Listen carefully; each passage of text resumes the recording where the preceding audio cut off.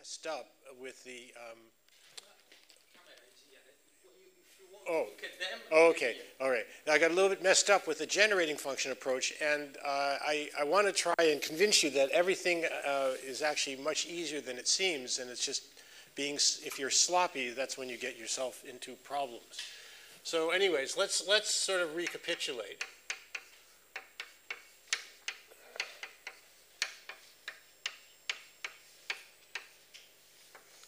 So uh, we imagine a system that con uh, consists of particles which, can, which, we can think of as bacteria that die at a certain rate and uh, give, each one gives birth at the same rate.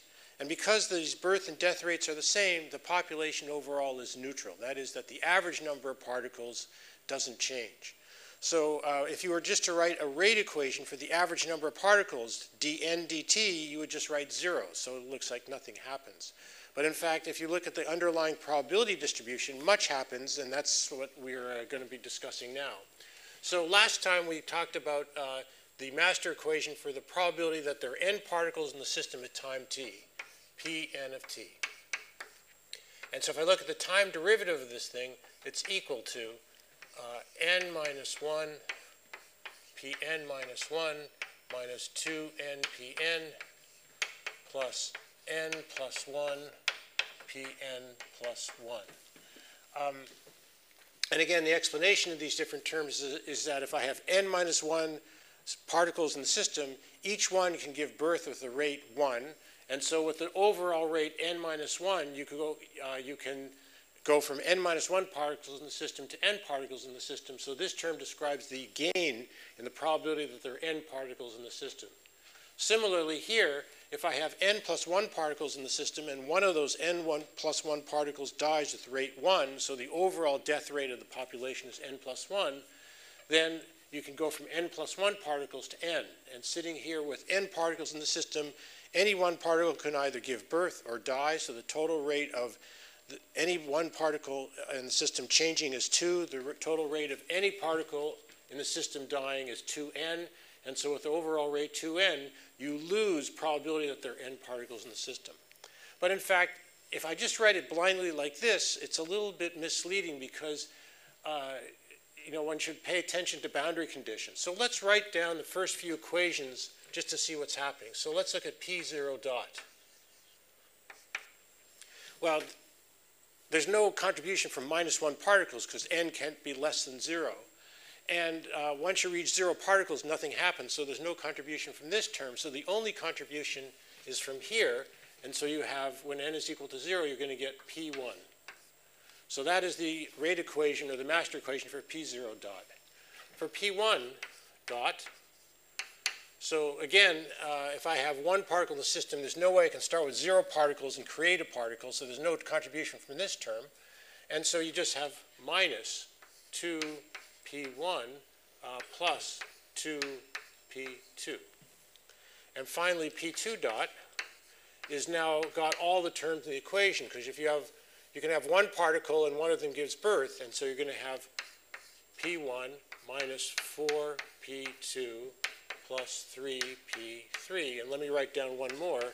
P3 dot is equal to, so I'll have 2P1 minus 6P3 plus 4p4. So first point is the fact that, that there's term here and here and here that are missing. And that's how I got messed up at the end of yesterday's lecture. Second point is that if you just write down the equations one by one, um, it looks a little bit formidable because these coefficients seem kind of strange and how are you going to deal with the equation with these weird coefficients. But when you write it for general n, it looks a lot simpler.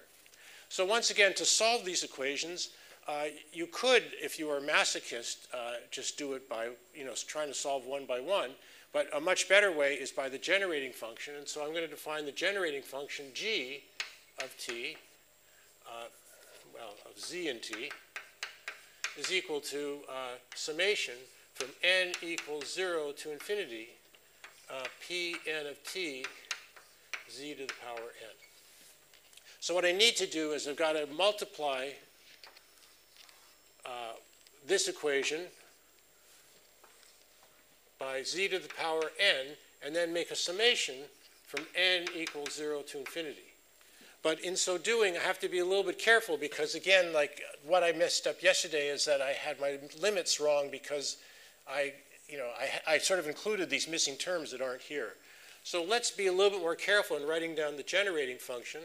And so in this equation, on the left-hand side of the equation, we just have the time derivative of the generating function.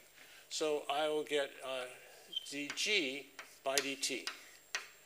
And now on the right-hand side, there's uh, three types of terms. There's terms from the gain term from n minus 1. And so let's look at what that is. So there's nothing from here. There's nothing from here. It starts at this point. And so the, what we're going to have here is summation uh, from, and so, you know, like if I'm doing the generating function approach, this, this equation will be multiplied by z to the power 0. This one is multiplied by z to the power 1. This one is multiplied by z to the power 2, and so on down the road, z cubed. So our, we, for this set of terms, we start here, and so we're going to have a summation that starts at, uh, um, so it's going to be summation p n minus 1 z to the power n, and it starts from n equals 2 to infinity. And so that's what's slightly different than yesterday because I had that wrong. And so now the next term is minus 2, summation from 1, n equals 1 to infinity. And we're going to have, uh, well, sorry, sorry, I forgot the n minus 1. So there's, let's go back here. So it's n minus 1, p n minus 1, z to the power n. Here I have 2, n p n, z to the power n. And finally, the last term, plus and so there'll be an n plus 1, pn z to the power n. And this one starts with n equals 0.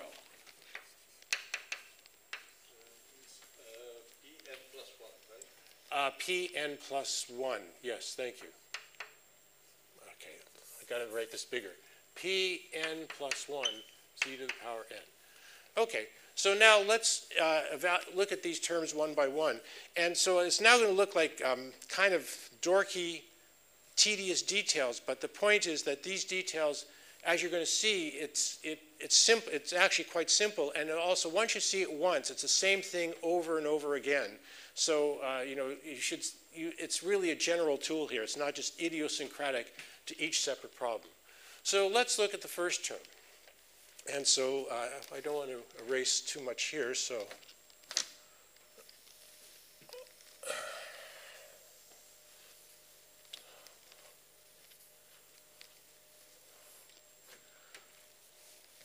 Okay, so I have summation 2 to infinity n minus 1 p n minus 1 z n. So uh, I can write this factor out of z. So it's 2 to infinity n minus 1 p n minus 1 z to the n minus 1. Now, um, let's also now relabel the index. So I can call the index m, which is n minus 1. And so m, if n is 2, m is 1. So we can rewrite this as z is from 1 to infinity and now have m, p, m, z to the m. But let's m, and you know, since it's a dummy index, we can just call it n, p, n, z to the n. And then the last step is, well, now, but to bring down the factor n, I can just differentiate the z to the n, but then I have z to the n minus 1, so I've got to multiply by z to restore it. So I, this is the same as z squared d by dz. Um, summation. Oh, I, one more thing before I do that step. Um, one, more, one more thing is that notice here, the summation goes from 1 to infinity, n, p, n, z, n. So if I put in the term n equals 0, well, that doesn't change anything because it's multiplied by 0. So this is the same as z, summation 0 to infinity, n, p, n, z to the n. And finally, I say, well, I can now generate the n in front by differentiating with respect to z and multiplying by z to restore the power of z. So this is nothing more than z squared d by dz, summation from 0 to infinity of pn z to the n, which is nothing more than z squared d by dz, d by dz of the generating function itself. And if you so I'm not going to do the remaining two turns because it's exactly the same manipulation. It's, it's elementary, you just have to be careful, but there's no big deal to it. And so the final result is you're going to get z minus 1 squared dg by dz. So that is the uh, equation that's satisfied by the um, generating function. And once again, you might say, well, this is very idiosyncratic, but in general, when you're dealing with any kind of a birth-death-like process with local hopping, you'll always have the, the uh, differential equation for the generating function. It's first order in time and first order in the z-coordinate with some function of z out in front. And this is the wave equation in disguise. And because it's the wave equation that we know how to solve it, and so that's what I'm going to do in a, momentarily. Um, and uh, you know, so it's really not a, it's not a very difficult problem. So how is this the wave equation in disguise? Let me define a new variable, dy, is equal to dz over 1, uh, 1 minus z squared. And so this thing is nothing more than dg by dy. And so the solution to this equation, the general solution, g as a function of y and t, is any function under the sun of y plus t, where the function f itself is determined by the initial condition. So, you know, that's what I'm saying. It's an easy solution. And so no matter how complicated the function is here, by ma making this variable transformation, you always have the solution to the problem. So to complete the solution, we just have to match everything to the initial condition. So uh, the, the natural initial condition here is starting with a single particle. So for um, Pn at t equals 0 is equal to delta n1, Kronecker delta again, then this tells me that the initial generating function, g, g of z at t equals 0, uh, so it's 1 times z equals z. But uh, this solution of the wave equation is in terms of the y variable. So to actually, um, you know, match uh, to the initial condition, we've got to re-express z as a function of y. And you see just from this equation right away that y is equal to 1 over 1 minus z, from which z is equal to 1 minus 1 over y. So if the initial condition is z, then it says that g um, of y and t equals 0 is equal to 1 minus 1 over y.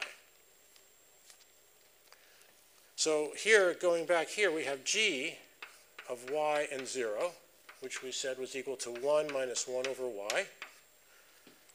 And so that tells us that this thing, our function f, is just 1 minus 1 over y.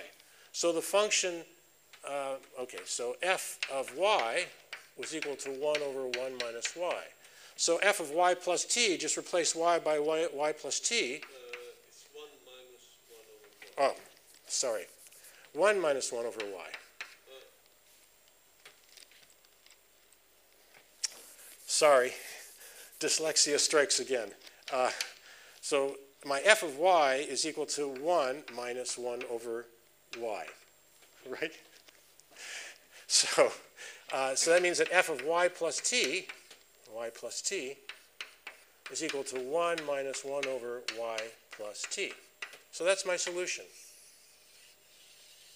Now, it's not quite the solution you want because this is a function of y. And in order to compute each individual pn, we would like this as a function of z so we could think of the power series representation as a function of z. So we have to do just a smidgen of work here because uh, we just have to re-express y as a function of z. So it says that g, zt, is equal to 1 minus 1 divided by, but y is 1 minus z, 1 over 1 minus z plus t. So this really is my solution. And all we have to do now is expand this in a power series in z, and we're done. And so let me do the first few steps of that.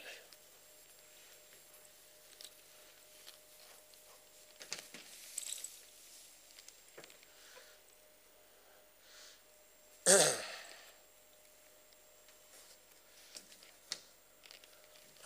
okay, so G, Z, and T is equal to. Um, so it turns out what's convenient here is to uh, just multiply through by 1 minus z. So of 1 minus. So multiply top and bottom by 1 minus z. I have 1 minus z, uh, 1 plus t, 1 minus z. And I'll write this as 1 minus 1 minus Z. So I have 1 plus T. Uh, maybe write it bigger. 1 plus t minus z. And I'll write this as 1 minus 1 minus z, 1 plus t times quantity 1 minus z, t over 1 plus t. And I'll just do the next very first step, 1 minus z, 1 minus t, 1 plus t, and then I have a power series, summation from n equals 0 to infinity, t over 1 plus t to the power n, z to the power n. And now what I need to do is I have to extract from this power series representation the term of order, of order z to the power n. And the only thing that makes it a little bit tedious is there's a z to the n from the power series, but here there's a, there's a 1 and a z, so you've got to like do a little bit of manipulation. So let me just not do any of those horrible steps because the chances of me doing it wrong are sort of order one. Uh, and let me just tell you what the result is. And the result is the following. P0 is equal to T over 1 plus T. And Pn is equal to uh, T to the power n minus 1, I think, to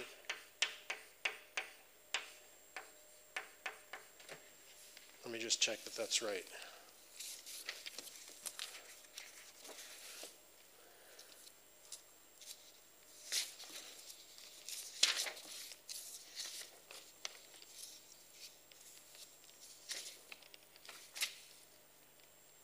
Yeah, it's even right. Uh, okay. So uh, you see the, the final answer is actually very simple in, in mathematical form. Uh, and let me just mention a few sort of outstanding features of this solution, which is first of all, this is the extinction probability, probability there are no particles in the system. So this extinction probability is going to 1 as time goes to infinity. And correspondingly, S of t, the survival probability, which I define as 1 minus the extinction probability, is equal to um, 1 divided by 1 plus t. So this system of bacteria goes extinct for sure. Um, it's just that uh, you know it happens in a power law fashion. And the thing which is kind of amusing is if you compare this to the good old random walk where the hopping rates are equally probably left or right, but not getting faster and faster the larger, the further away you go from the origin. In that case, the survival probability decays asymptotically like 1 over the square root of t. Here, the survival probability decays like square root of t. So anyways, that is a solution, full solution for the birth-death process by the generating function approach. It's very elegant, it's very compact, it's very beautiful, I think, and the, the tricks and the tools that I've shown you here are very generic. So once you've seen one generating function problem solution, uh, one generating, one problem solved by the generating function, you should have confidence to solve many others. Yes? Sid, can you always uh, do a change of variable like the one you did, I mean, for generic uh, birth and death rate, or is it specific to mu equals sigma, as you would say? Well, well, if in the case nu equals sigma, you mean birth rate equals death rate. Yeah, so in the case where the birth rate is not equal to the death rate, the polynomial out in front is still a quadratic polynomial, but it's more complicated, but it still can be factorized and you can still, you know, it's much uglier, but you can still do the same trick. So in general, as long as this polynomial is less than a fifth degree polynomial, you can always like solve it. So, you know, if you were doing something where there's hop, well, actually, I'll tell you a problem that I don't know how to solve, and I'd love to know how to solve it. Suppose you had a bursty birth-death process. That is, with some rate you give birth to twins, and at some rate you die, and choose the birth rate and the death rate such that um, uh, you know, the system is overall neutral. So I can go through all of the same calculus, it looks all very beautiful, and you end up, when you get to this stage, that here there's a logarithm. And I, I, have no idea how to deal with it. So I would love to know the solution to the bursty birth-death process. So for those of you out there, solve for me the bursty birth-death process, and I will be very happy for you. And you will be very happy for yourself as well. Okay, thank you for the question. Okay, so um, that ends sort of um, my, my, the first topic of this course. And the second topic that I'd like to now turn to is irreversible aggregation. So irreversible aggregation is a generic process that happens everywhere in non-equilibrium systems. You have the universe, which is a, a problem, a situation where you have gravitationally driven aggregation of stars, of star clusters, of galaxies, galactic clusters. And one might ask, well, for this aggregation process, what is the size distribution of aggregates that it can occur? Another example would be uh, making gelatin dessert, where you have this powder, you put it into a bowl, you put in water, you mix it up, you put it in the refrigerator, and like half an hour later, instead of being liquid, it's a gel. It's an interconnected, single interconnected molecule. And in this case, at the microscopic level, one has multifunctional microscopic units that are very interactive, and so many arms of the molecules will grab each other, and as the system, as the largest molecule grows, it has more grabby arms, and so there's a rate of grabbiness which is getting larger and larger as the largest molecule grows, and you have this phase transition from a sol phase, where one has only finite molecules, to a gel phase, where one has one macroscopic molecule that spans the system. So one can think of many other uh, examples uh, for many different fields of physics where this aggregation occurs. I mean, one example is the road that goes along, um, you know, just along the sea here. It's a one-lane road. You can't pass any cars, and so if you are in your little Alfa Romeo and you want to go 150 kilometers an hour, but then you go behind a little old lady who's going 30 kilometers an hour, you have to go 30 kilometers an hour. And so as traffic moves along this run, one-way roadway, you're limited by the cluster of cars in front of you that are moving slower than you. And then a cluster of cars which is moving slowly can catch up to an even slower cluster of cars, and there's an irreversible aggregation process occurring. So that's another example of irreversible aggregation.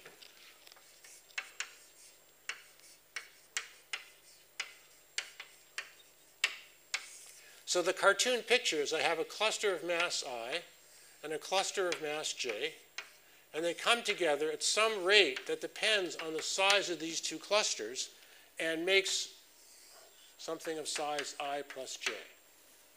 And the question that we want to ask ourselves is what is uh, the concentration of clusters of mass I at time t? So the basic variable is Ck of t, concentration of K-mers. So polymers of size K, K-mers, concentration of K-mers at time t.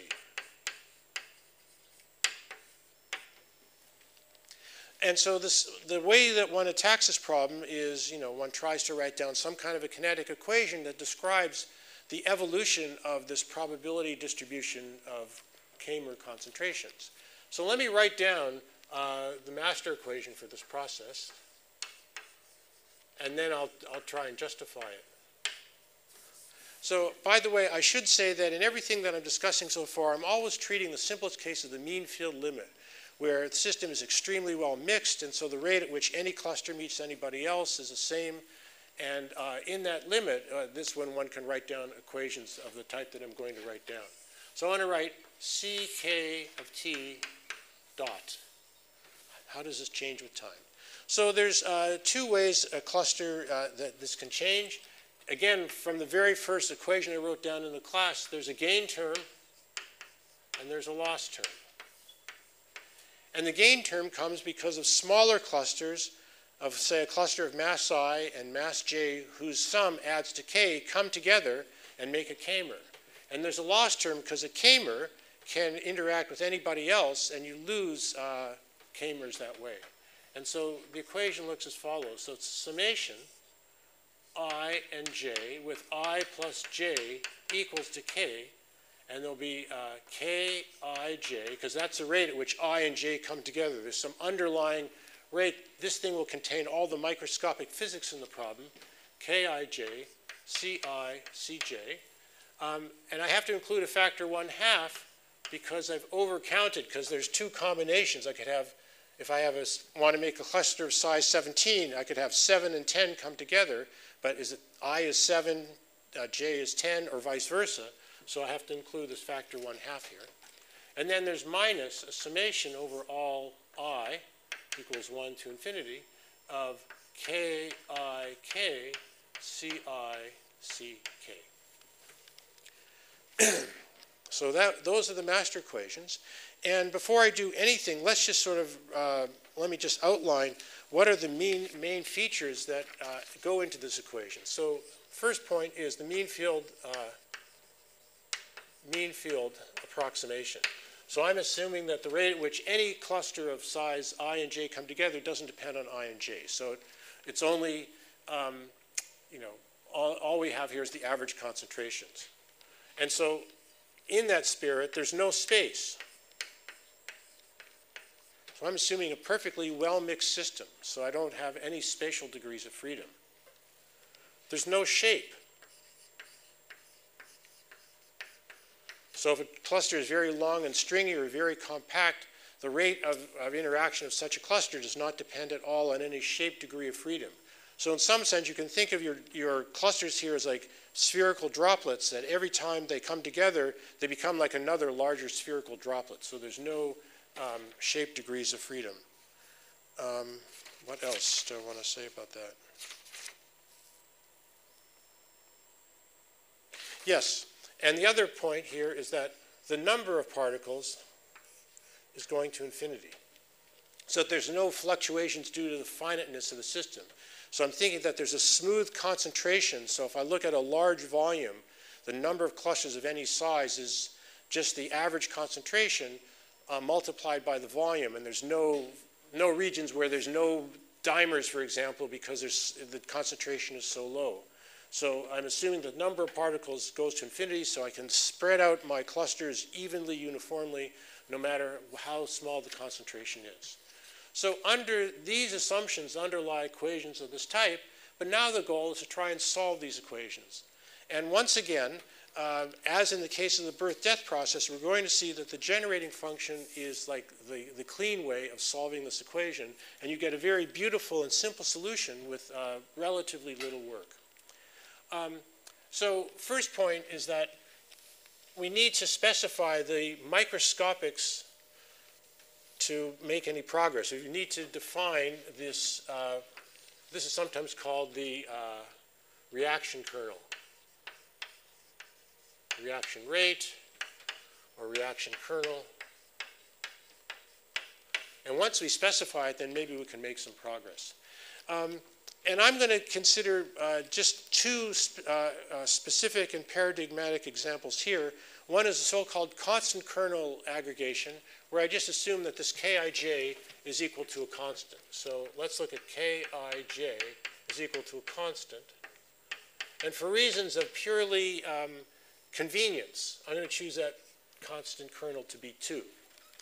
And if I want to try and justify this, if we think about, say, reaction of particles that are in a solution, well, what is the rate at which a reaction will occur between two spherical aggregates that are diffusing around? Well, the bigger they are, the more likely they can bump into each other because they have a larger cross section. On the other hand, the bigger they are, the slower they diffuse. And it turns out that to a rough approximation, which still is actually not a very good approximation, I can say, well, the growth of the radii kind of counterbalances the slower diffusion coefficient as the radii increases, and that justifies choosing a reaction rate equals to 2. But it's not a very good approximation, and if you get further into this problem, you'll, you'll understand why. But from the point of view of like being able to solve a simple problem, let's look at the simplest case, Kij equals 2. So, um, and also, let's just write down the first few to get a feeling for what's happening. So let's look first of all, C1 dot. Well, there's no way I can create a monomer because that's the lowest, that's sort of the minimum quantum size of my problem. So there's no gain term, but there's a loss term because I'll have um, minus C1, and then I have summation uh, from 1 to infinity of ck. And so let me now define n. summation from 1 to infinity of ck. So, um, and also if I choose ki, k, if uh, all the reaction rates are equal to 2, there should be a 2 out in front. So it'll be 2 c1 times n. So it's minus 2 c1 times n. Uh, c2 dot. So now we have a gain term because we have 1 half c1 squared with, a, with uh, times 2. So there's going to be a c1 squared minus 2 c2n. c3 dot is equal to, um, so I'm going to have 1 half C1, C3, and then 1 half C3, C1, and then there's a 2 sitting out in front here. So we're going to have um, uh, 2 C1, C2 uh, minus 2 C3N. And then let's just write one more, C4 dot, so it's going to be 3 C1, C3 minus C2 squared minus 2C4N. And so now you see that like the structure of the plus, the structure of the gain terms becomes more and more complicated. So if you write them out one by one, they start looking a little bit intimidating. Uh, it is possible, and if you want to be a masochist, I invite you to try it, which is you just solve them one by one. It can be done. Uh, but let's now do the gener generating function approach because it's much more elegant. But actually, even before the generating function, I'd like to say the following, which is that when you're confronted with horrible master equations of this type and you have no idea what to do, a natural first thing is to look at moments of the distribution because moments are often simpler. And like, for example, for the case of a random walk, if you're unable to solve the full probability distribution, you might say, well, I can't solve for the full probability distribution, but let me compute the average position or the mean square position. And there are many techniques that allow you to compute each of these things more easily. And so similarly here, let's look at moments and see if we can solve them directly. And part of the reason for looking at moments, uh, I'm going to outline in a moment, because one thing you might, if you're a skeptic, ask is, did I even write the equations correctly? You know, this factor of a half, like it looked a little bit mushy what I was doing. And what I want to show you is that factor of a half was actually correct. So let me look at moments. Let me define mn is defined to be the summation from uh, 1 to infinity, k equals 1 to infinity, of k to the power n, ck. So the zeroth moment is just going to give me n. The first moment, sum KCK, by construction is a total mass in the system. And so we better have the total mass in the system is conserved. So one test whether the equation is correct or not is the first moment is its rate equation equal to zero. So let's compute, for example, m0 dot. And I just realized I erased the equation that I wanted to keep. So let me put it back here again. Uh, so ck dot was equal to uh, summation i plus j equals k, and I had um, uh, ci cj minus summation uh, 2 ci ck, k equals 1 to infinity. So let's now multiply this equation. To compute the zeroth moment, we multiply this equation by k to the power 0, which is easy to do, it's 1. And then we have to sum from overall k. I'm sorry, uh, this, is, this index is incorrect here. Uh, i equals 1. Is that your question? Oh. last equation for c dot 4, it's c2 squared or c1 is c2, no? Ah, yeah, I can't, I can't add. Thank you. C2 squared. Thank you. Okay. Um, anyways, uh, so we take this equation, multiply by 1, and then sum over all k. So for this one, the summation over all k makes this two unconstrained sums. So it's a sum ci over i, sum cj, but sum ck is n, and so this first term is just nothing more than n squared. But then the second term, we have the sum ci, which is n, and now the sum ck, which is another power of n with the power 2. And so m0 dot is minus m0 squared.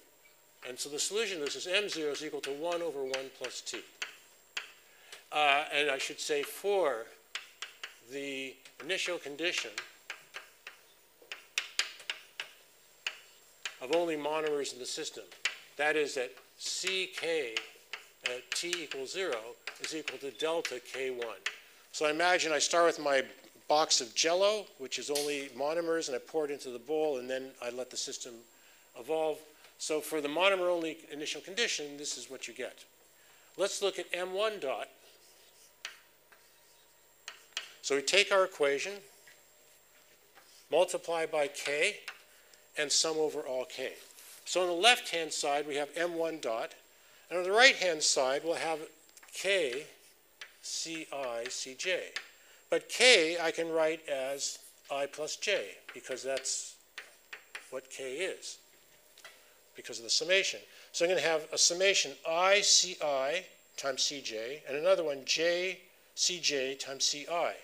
So ICI will be M1, CJ is M0. I get two such terms, and so I'm going to get 2 M0, M1. And I did that a little bit quickly, but you know, I hope, I hope you get it, and if you don't, just do it more slowly on your own, because there's nothing very deep about it. But then in this term, we have 2 sum CI, so that's 2n, and then I have KCK summed over all k. I'm sorry, 2 times sum ci, well, that's, same, that's n, but that's also the same as the zeroth moment.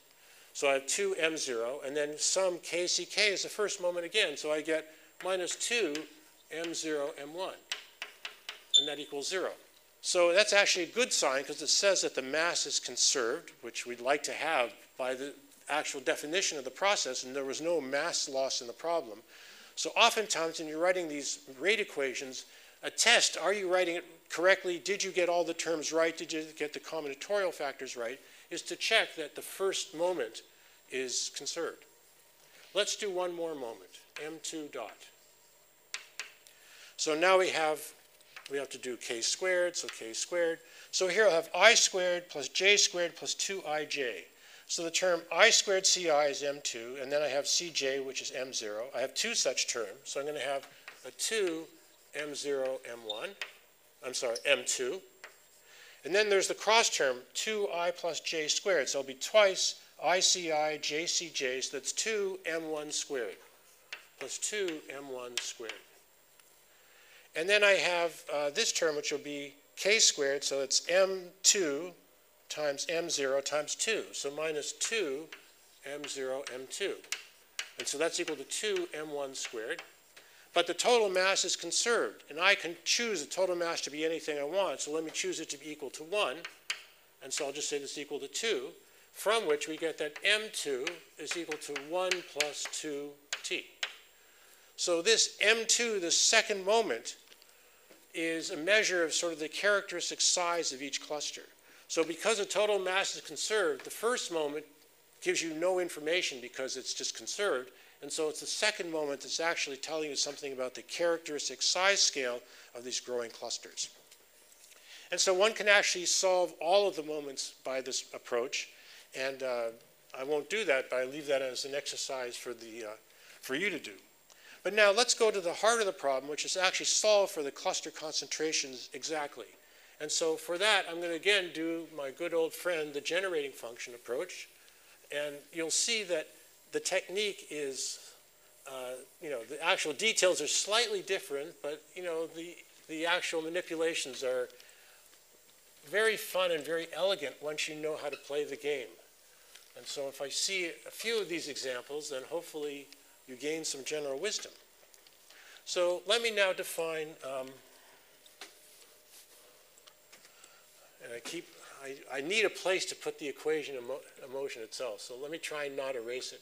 So ck dot is equal to uh, summation ij, and I have uh, ci cj minus 2 summation uh, ci ck. This is summed over i equals 1 to infinity. I, um, i plus j is equal to k. Hopefully I won't erase this anymore. Okay, so now I want to solve it by the generating function.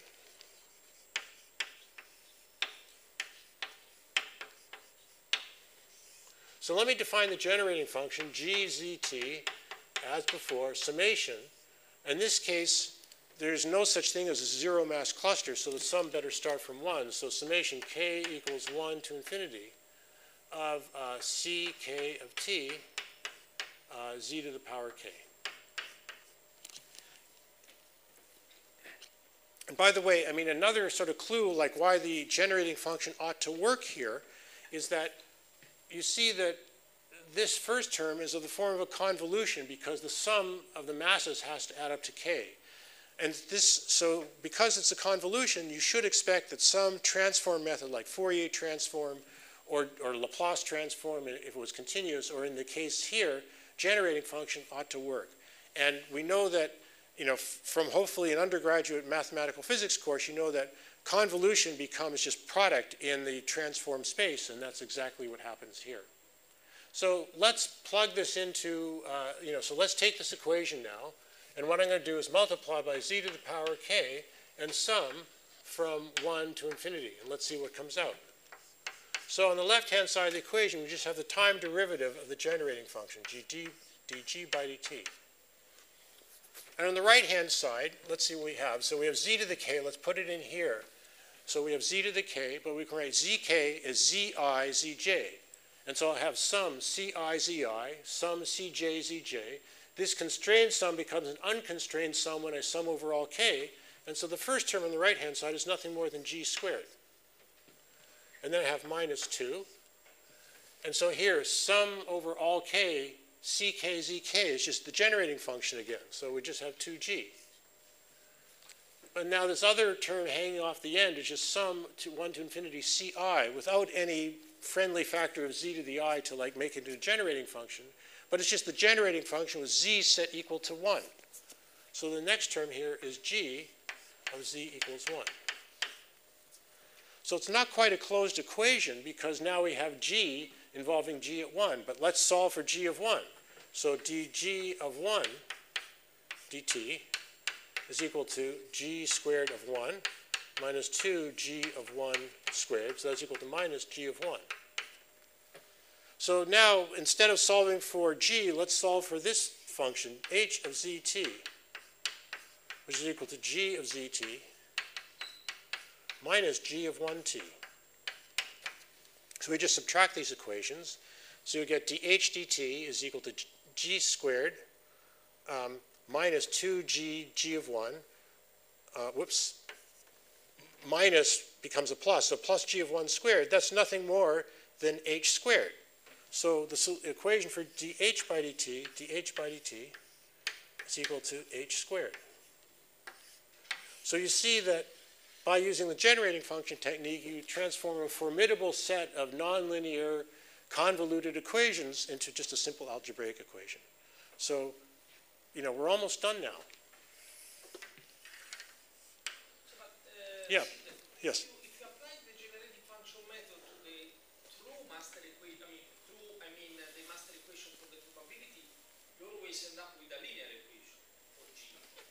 Uh, why?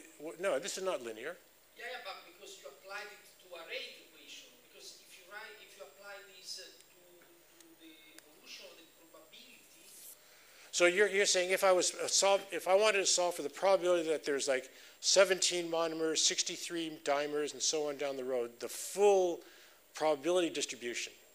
Yeah, you are you are absolutely correct. Then you would have a linear equation, but it's just like it's horrendously complicated. So I mean, but you've also raised an interesting point here, which is that I, I, I'm a little bit sloppy about the use of the word master equation, rate equation. The underlying probability distribution is that you want to have you want to compute the full probability that there's N1 part, N1 monomers, N2 dimers, N3 di trimers, N4 formers, and so on down the road. So the rate equation for that set of Ni's is a linear set of equations, horrendously complicated, however. And what I'm solving for is for the average concentrations of monomers, dimers, and so on down the road, which turns out to be a nonlinear system of equations. Okay, very good point. Anyways, uh, maybe even I can solve this equation without making a mistake, but we'll see. Um, so the equation is dh over h squared is equal to dt. So that says that 1 over h at time equals 0 minus 1 over h of t is equal to time. So h of t is equal to, uh, so this is the part that's hard for me. 1 over h of 0 minus time. Um, okay, I guess, no, I even did that wrong. Uh, 1 over h of t is, so that's my solution. Um, so first of all, let's determine the initial condition so we can actually write this explicitly. So once again, for the monomer-only initial condition, g of z and t equals 0, so it's equal to the summation over all k, ck, z to the k. The only one that's non-zero is the monomer, so that's equal to z. So h of z and t equals 0 is equal to z minus 1.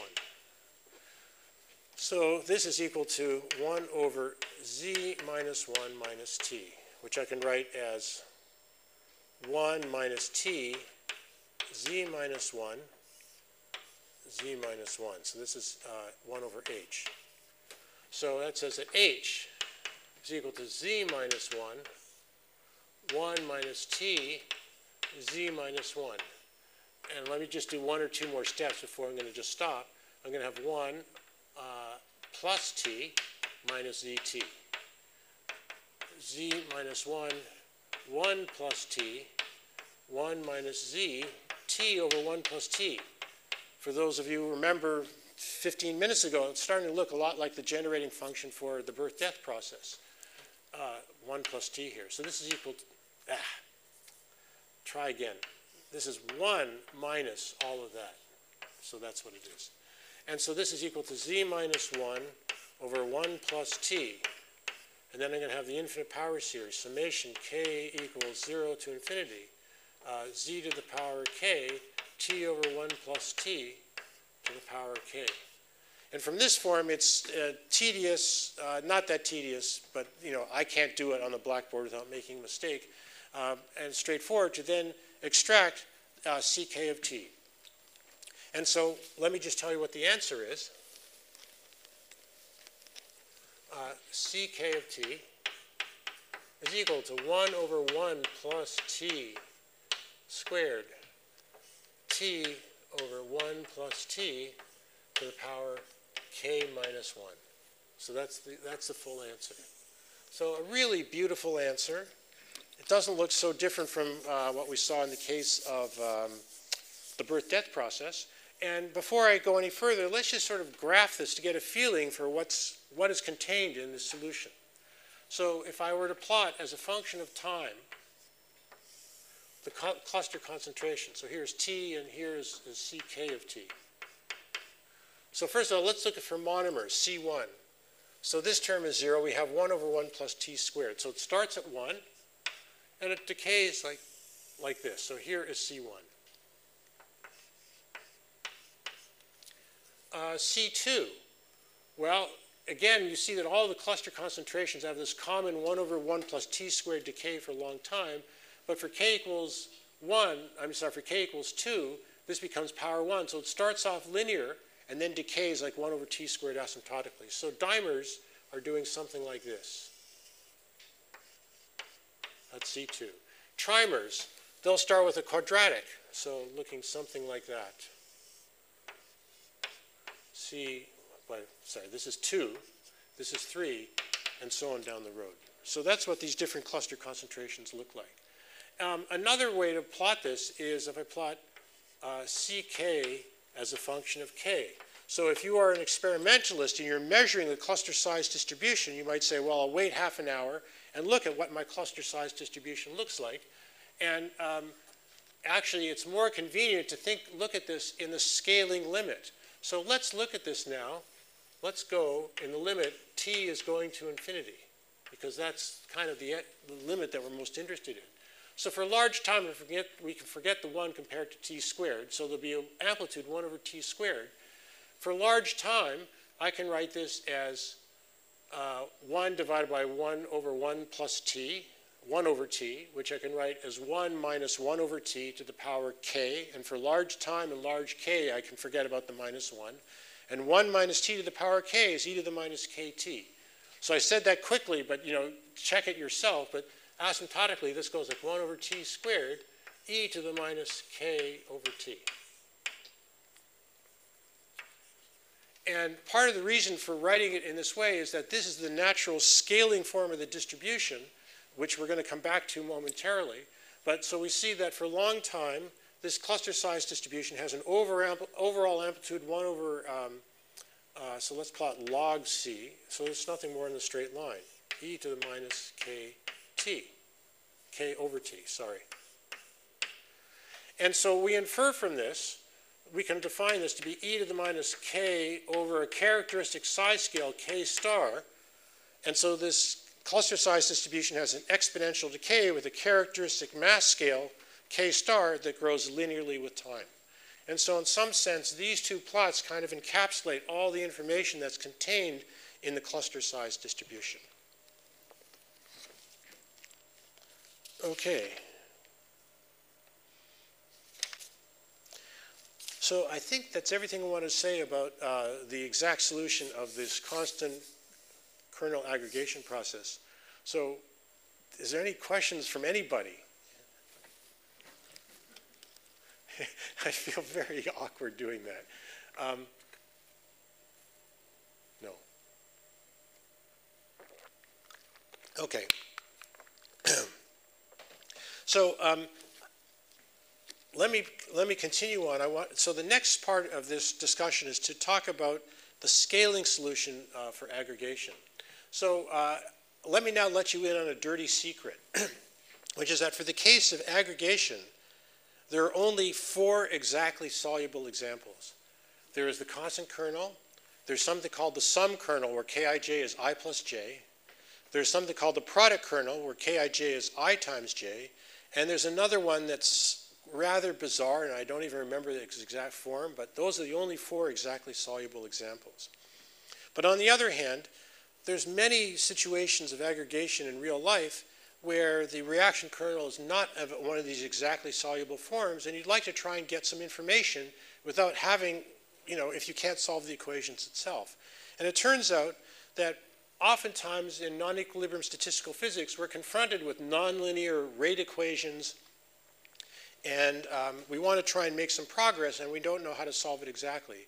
And in this situation, the scaling approach turns out to be extremely powerful and general and elegant for getting partial information, and, and that's what happens here in the case of uh, aggregation. So let me now discuss um, the scaling approach for aggregation. And hopefully, I mean, I would say that this is like perhaps the most general thing that I'm going to talk about in this entire set of lectures because it works in so many different situations in such an elegant and beautiful way. So I, I hope you'll take this to heart because it's a very powerful tool.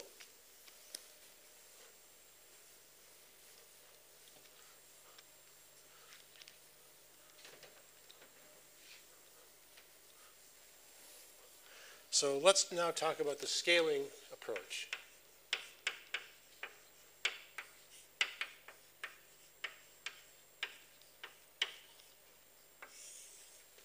So um, as a warm-up, let's solve a simpler problem that we already know the answer to, which is let's solve the diffusion equation using only scaling. And, you know, let's just see what we learn from that. So let's solve dc by dt is equal to d d second c by dx squared. Suppose that we don't know how to solve this. How can we get information without solving, like directly?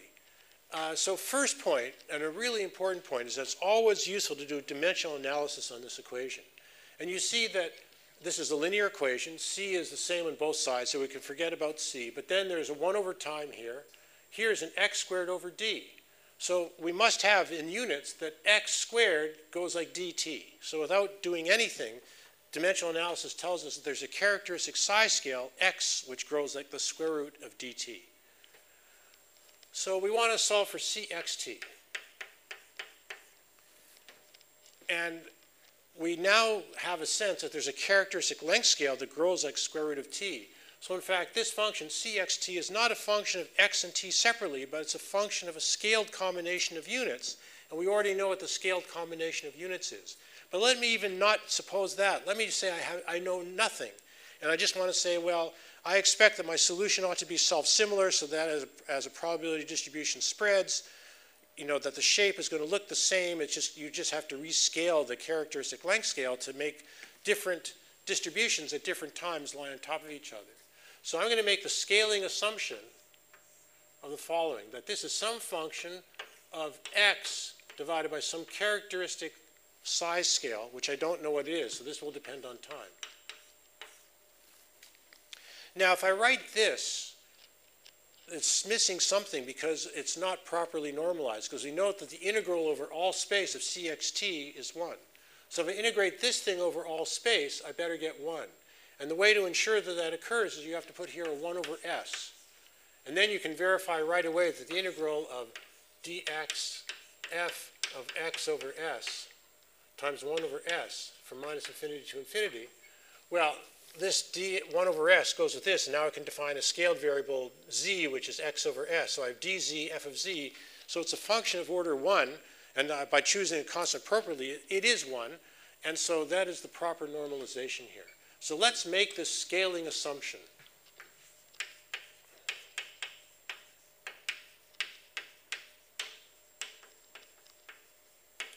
And now let's use that scaling assumption and plug it into the differential equation. Let's see what we get out. So, um, and now I'm going to start using subscripts for partial differentiation just because I'm lazy. Um, so CT, the time derivative. So we want to differentiate this guy. So there's two terms. There's a time in here, there's a time in here. So we're going to get minus s dot over s squared, f. And now let me call this combination of unit of variables, let's call that z, so it's f of z. And then I have uh, plus 1 over s, and when I differentiate inside the argument, so I'm going to get f prime as a function of its argument, and then I have to differentiate the argument, so that's minus x over s squared s dot. And so this is equal to, so there's a common factor, minus s dot over s squared, and then I have f of z so one power of s goes with the s squared here, and that's s dot over s squared, and another guy combines with this, and I'll get plus z f prime of z. So that's the left-hand side of the equation. On the right-hand side, cx, well, the only place x appears inside the argument, so I just, I'm just going to pull out one power of s and differentiate with respect to the argument. So I'm going to get equals 1 over s squared f prime of z and so Cxx is equal to 1 over s cubed f double prime of z. So now let's uh, put this all together. So our, diff our, different, our, our diffusion equation becomes the following. So we're going to have um, minus s dot over s squared um, f plus zf prime is equal to d over s squared f double prime. And let me, re, re, let me put all the time dependence on one side, all the z dependence on another side, and so I'm going to get s cubed. s cubed, where did it go to? Oh, here's my problem. When I do first derivative, I got one power of s. When I did second derivative, I get two power, another power of s. So this is s cubed. Another question? Okay, so this is s cubed. Okay, so I'm going to get here S dot times S, so I bring this over here, is equal to minus F double prime over F plus ZF prime. And now we just invoke what we know from when we, when we sort of first encounter partial differential equations in our physics class. This is a function of time only.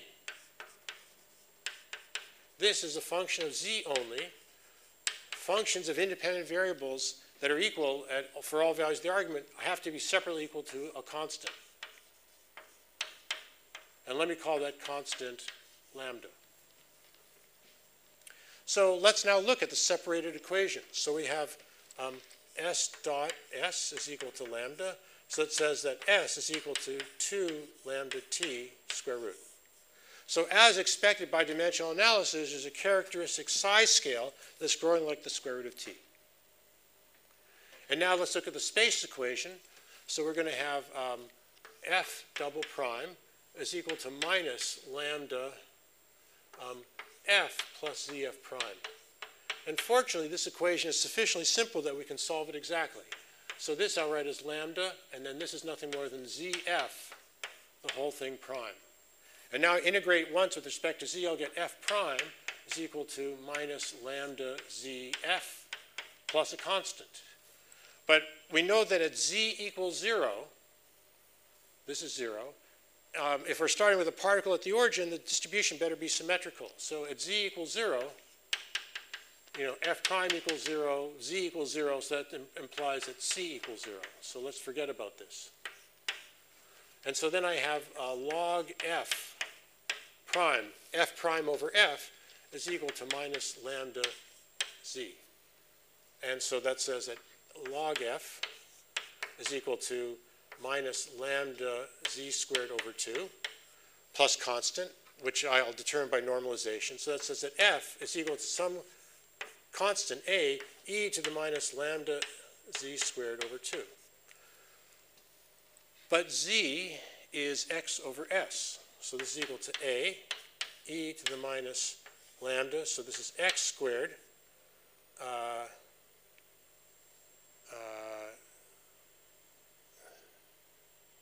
z is x over s. So yeah, so this is x squared over s squared over 2s squared, which is, e which is equal to a e to the minus lambda x squared divided by 2, but s squared is 2 lambda t.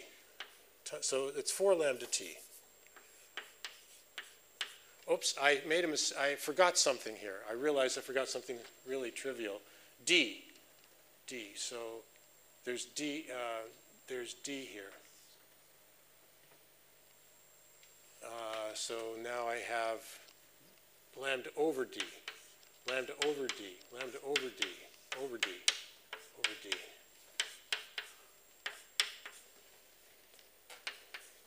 So we just get, can you, you, can they see down here? So this is just A e to the minus x squared over 4 dt. So it's the classic Gaussian distribution uh, by the scaling solution. And uh, then by normalization, we even know what this thing is. This is equal to 1 over the square root of 4 pi dt. So the point about the scaling approach is that we didn't really do any sophisticated so solution methods. We just made the scaling assumption, plugged in the equations, and just try to get as far as we could get uh, by this approach. And here we could go all the way to the end. We even got the exact probability distribution. Most of the times you're not that lucky, but nevertheless you get a lot of information for um, a lot less effort than uh, just trying to do a frontal attack.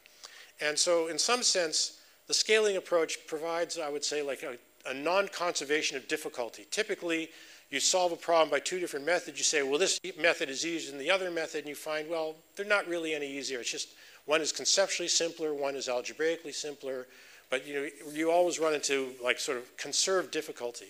But in the case of the scaling solution, I would argue that it's a, pro, uh, it's a technique that makes your life simpler. So I would like to, in, in uh, what I'd like to turn to now is to apply the scaling approach to the case of aggregation. And um, here, I hope you'll get a sense that I'm going to transform a problem that looks impossible to solve into one where you can get at least partial information with relatively little work. So uh, let me do that now.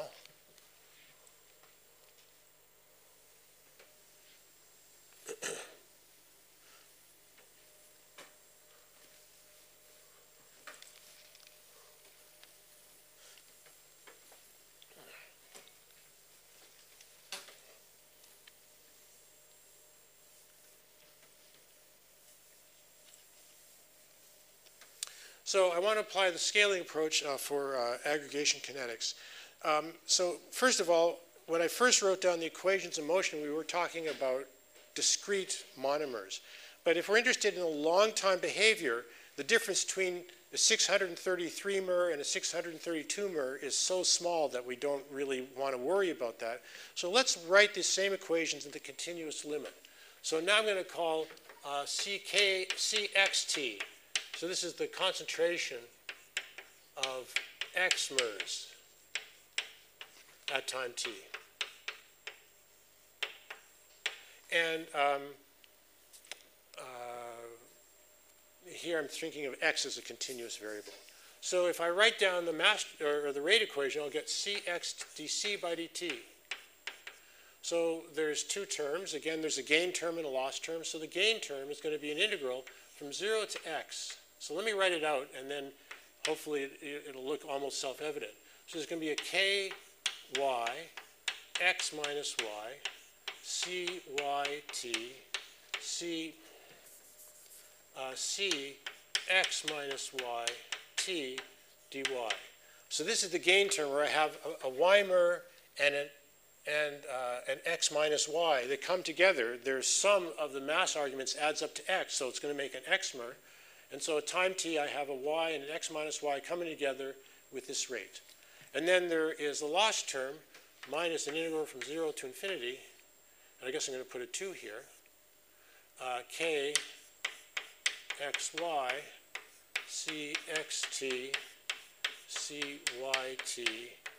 dy. So that's the continuous version of these uh, rate equations for aggregation. Now to make any progress, we have to say something about this reaction rate.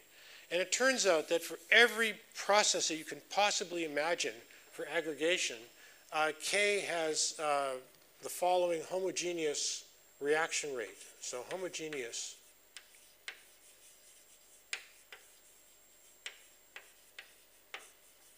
That is that, and the way I define is that if I have k, if I, multi, if I imagine multiplying all cluster masses by an overall factor a, so kai, kaj is equal to a to the power lambda kij. So I'm going to assume a homogeneous reaction rate. And if you start thinking about any kind of aggregation process that you can envision, if I increase the size of all the clusters by the same overall factor, the overall reaction rate changes by an overall factor that's typically thought uh, in this form. And so this thing here is called the homogeneity index.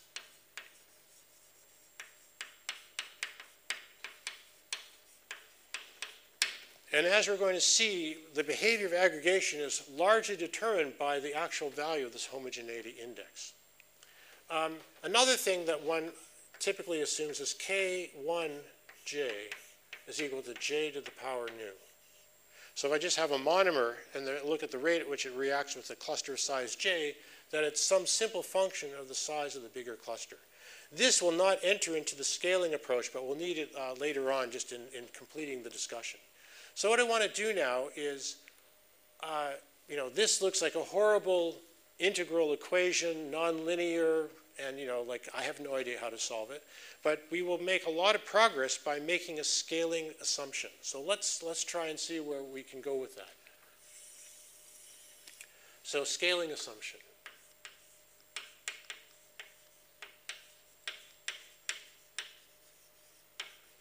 So just as we did for the case of diffusion, I'll say that CXT, well, we imagine that as time goes on, the clusters are getting irreversibly larger and larger, so that if I could rescale my time by some factor, that the cluster mass should be, or, or, put it another way, if I rescale the cluster masses by some factor, that's the same as rescaling the time. So that suggests that I can write this as some function of x over s where S is a characteristic size scale, which is you know, the cluster size. And then you would say, well, I have to normalize this properly, so I should put in front here 1 over power S. This is not quite right because we know that the total concentration of clusters is gradually disappearing because, you know, you know, as you aggregate, aggregate, eventually you'll get to just a single cluster. So it's not the first moment, uh, it's not, it's not, this is not the right um, normalization factor, the right normalization factor is this. And why is this the correct normalization factor? Because the conservation law is that the total mass of the system is conserved. That is the integral of x cxt dx, which is the total mass in the system better be conserved. And if I put a 1 over s squared here, this becomes integral x 1 over s squared uh, f of x over s dx. And now I can absorb one factor of s to here, one factor of x to here, of s to here, and then I have a dimensionless integral, which is order 1. And so this is the correct normalization factor. So now what I'm going to do is just as, as we did in the case of diffusion equation, let's make the scaling assumption, uh, work out the left and right hand side of the equations, and just let's see what we can get out of this. So uh, first of all, let's look at CT. So I'm going to get minus 2 over s cubed s dot um, f, and then I have plus 1 over s squared f prime of, and for reasons uh, that will be obvious in a second, I'm going to call this scaled variable combination u now. So this is f prime of u, and then I have times minus x over s squared s dot. And this I can put together, so I'm going to have minus 2 over s, sorry. It's going to be minus s dot over s cubed, and I have 2f plus u f prime of u. So that's uh, the left-hand side. Let's now look at the right-hand side. So it looks a little bit more formidable, but if you just have faith and follow through, it's not so hard. So let's look first of all at this term. So we're going to have minus 2, integral from 0 to infinity, uh, k x y. So c is 1 over s squared. And so we're going to have f of u over s. Then I have 1 over s squared for c y t. And let's call this f, I'm sorry, uh, x over s. And then this is f of y over s. And then I have integral dy. So let me call this thing u, as before. Let me call this thing v. Now I have, let me put in a factor 1 over s here, and that cancels one of the powers of s over here. And so the next term here is going to be minus 2 over s cubed. And then I integral from 0 to infinity, kxy, uh, f of u, f of v dv. It's not quite a scaling form because we still have this in unscaled units, but now let's write this in scaled units. So x is equal to su, and y is equal to sv. So this is the same as k of su sv. And now I use the homogeneity assumption that when I multiply by an overall factor of s, that's the same as multiplying through by s to the lambda times this in, in uh, times the bare argument. So this is nothing more than s to the power lambda k of uv. So finally, we're going to get here uh, minus 2 uh, s to the lambda minus 3 times integral from 0 to infinity k u v f u f um, f v dv. So this is some function of u, right, that's now scaled units, only a function of u. Um, and now we can do the same thing with the first term. And the first term, everything followed just line by line, everything is the same, and you're going to find that ultimately you can recast this as some other function of u. So if you put this all together, and so I'm skipping one trivial step, um, which is just computing the other term, but what I'm going to get then is that this initial differential equation, so let's call this 1. So what we're going to get for 1 becomes the following. So on the left-hand side, we're going to have um, minus s dot over s cubed 2f plus uf prime. And on the right-hand side, we're going to have um, uh, we're going to have so there's, uh, there's an overall factor s to the lambda minus 3. Because, you know, clearly these two terms are same order of magnitude. And so this other guy will have an overall factor s to the minus 3, and then there's a bunch of integrals. So let's call that stuff here h of u, for h of u for horrible function of u. But the main point is the function of u. And so now let's put all the time dependence on one side, all the u dependence on the other side. And so what we're going to get is um, s dot divided by s to the power of lambda. So the s to the minus 3 cancels. This becomes s to the minus lambda is equal to minus horrible function of u divided by 2f u, uh, plus uf prime.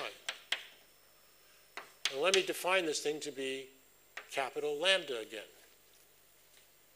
Um, so this is some, you know, h of u divided by this is an even more horrible function of u, but I don't care because we now we have solved for the time dependence. We have for the time dependence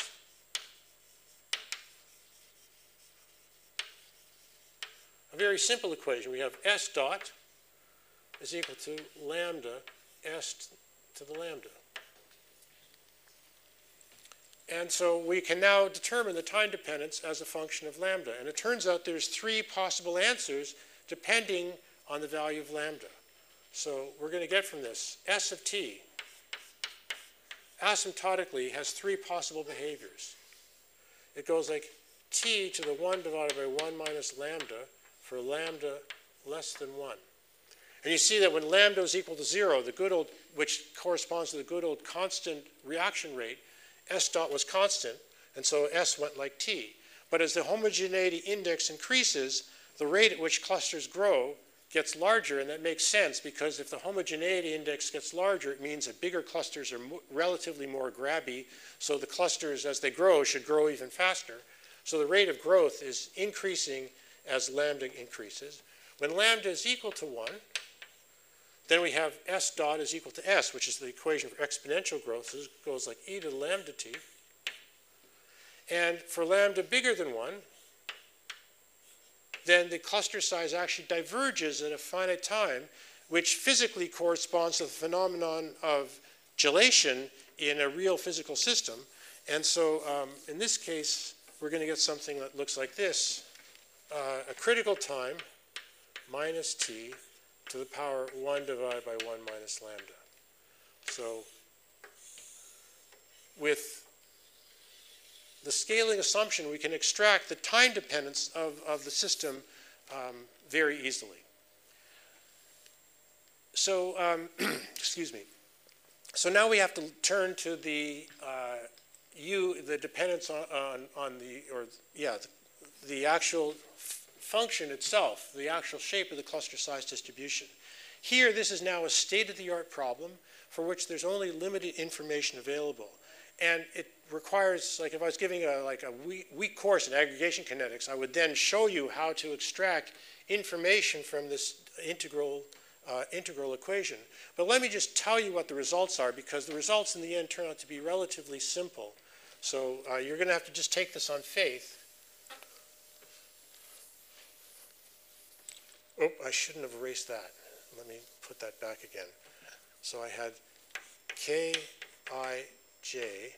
is equal to a to the power lambda k of aiaj and k 1j.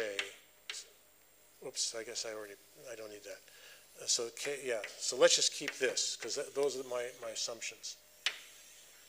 So um, to get uh, information about the cluster size distribution itself, let's kind of look at what this reaction rate is pictorially.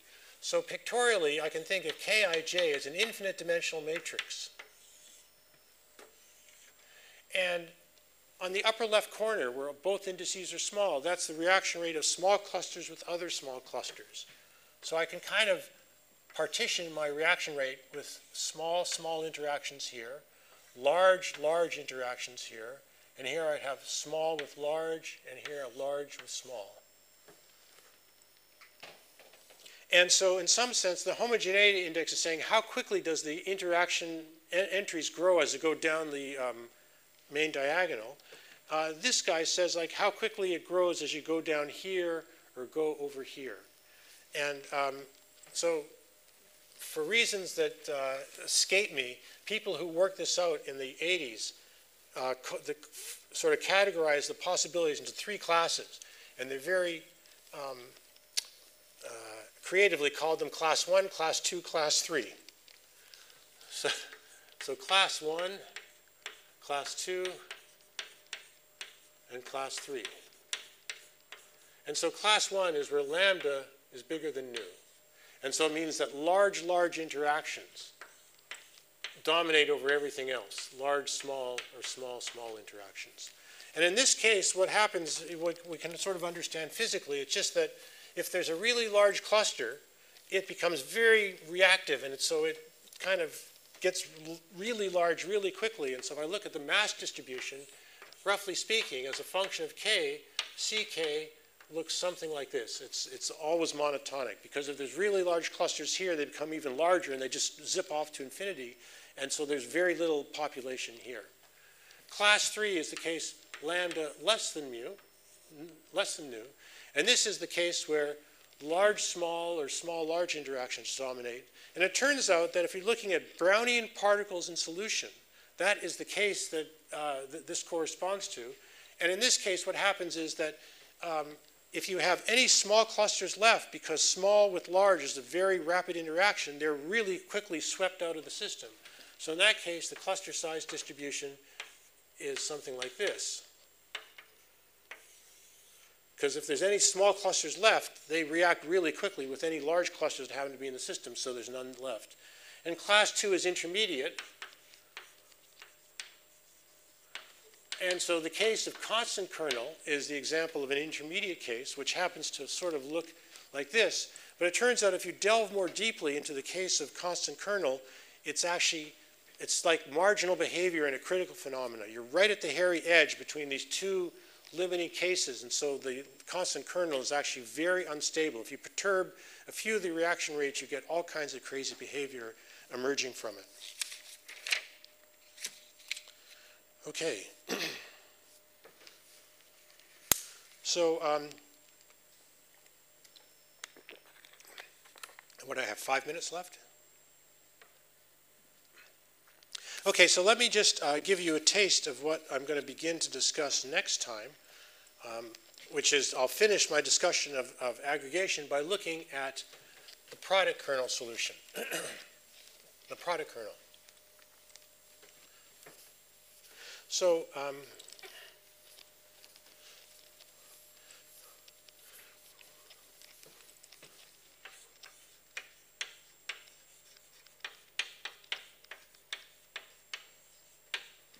Kij is equal to Ij. So this is one of the few exactly soluble cases in aggregation kinetics. And um, as you're going to see, the solution is just, every time I, I, I see the solution, like I'm always boggled, like how beautiful it is, and the mathematical trickery that goes into it that's actually, it's like, you know, graduate students now are just are not trained in mathematical physics. And so some of these things that seem like black magic should be in the toolkit of every theoretical physicist, but happens not to be. Anyways, product kernel. So enough, uh, enough getting on the soapbox. So um, let me just write down the equ uh, equations again. So ck dot is equal to, so by the way, now uh, I don't put a 2 in front. It just turns out to be more convenient to leave it this way. So I have 1 half summation ICI, I'm sorry, yeah, so it's um, I, C, I, J, C, J. And then I have minus summation. Uh, so I'm going to have K, C, K, I, C, I. And this summation, I equals 1 to infinity. Um, so already there's one thing we can, we can do, which is the summation I equals 1 to infinity, I, C, I. By construction, that's the total mass in the system. So we can just write this as 1 half summation I, C, I JCJ minus summation, no, no more summation now, we just have KCK. So this is what I want to solve for. Um, but before we try and solve it frontally, let's say, you know, let's say we're intimidated by this equation. What can we do with it? Well, let's look again at low order moments and try and see if we can get some partial information.